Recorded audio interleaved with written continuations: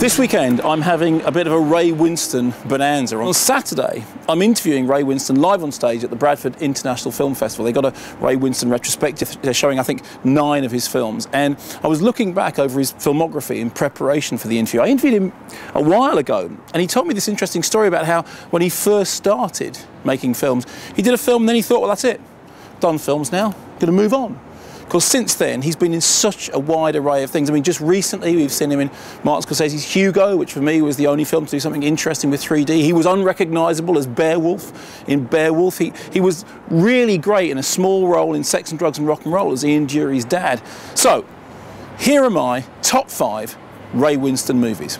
At five, Scum both versions. The film was made twice. Once for television, where it caused a terrible controversy, then again for the cinema. And it was after that film that Ray Winstone decided that he'd done with acting, he could move on to other things. It is, of course, also the movie which gave us what remains Ray Winstone's most infamous line, I'm the daddy now. At four, appropriately enough, 44 inch chest, a movie which took on screen swearing to Chaucerian levels. Winstone is brilliant, but rarely have I heard profanity be so poetic.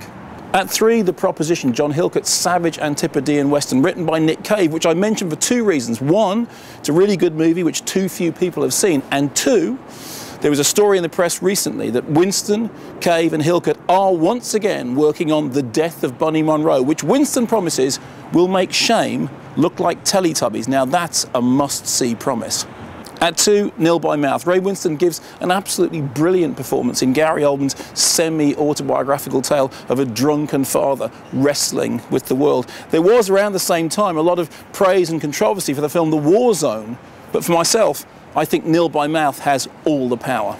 And finally, at number one, and this was a very, very close run thing, this and Nil by Mouth, but by a whisker, at the top of my top five, Ray Winstone's finest movie, Sexy Beast, from the same writing team that gave us 44 Inch Chest. For me, that's the defining movie of his career. But what about you?